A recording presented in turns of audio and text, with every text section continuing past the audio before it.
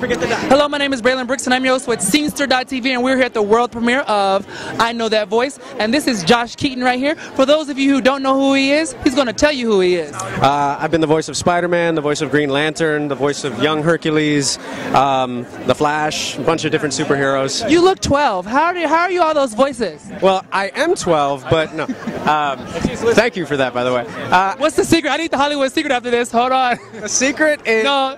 I, I, I wear a lot of capes. Okay. a lot of cakes. A lot of capes, yeah. So how does that feel to, you know, take part in to contributing your voice to these amazing iconic characters that are in the industry? I mean, you have to feel amazing and being that you're being acknowledged tonight. This is a big deal. Yeah, I mean, it, it, honestly, it's a little Come intimidating. on now, it's a big deal. It is a huge deal. I mean, I'm so happy to be included with, with all of the fantastic people you see here today.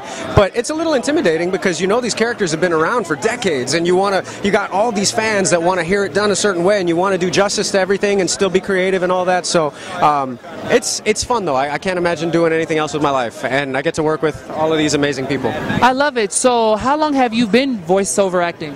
Um, I've been doing it in some fashion for most of my life. I, I started out as a child actor. I was the voice of Linus from Peanuts when I was really, really little. Um, I don't know if I was born then. Thanks.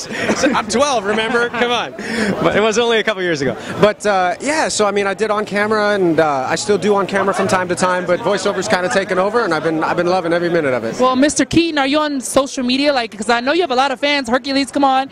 You know, so are you on any social media? I'm on every social media. I have a Tumblr. Uh, How can we find you? What's the name? at Josh Keaton is my Twitter, and then uh, it's joshkeaton.tumblr.com or uh, facebook.com slash Josh Keaton's page. Brand consistency. Josh Keaton, Josh Keaton, Josh Keaton. That, that just happened. Thank you for watching Scenester TV.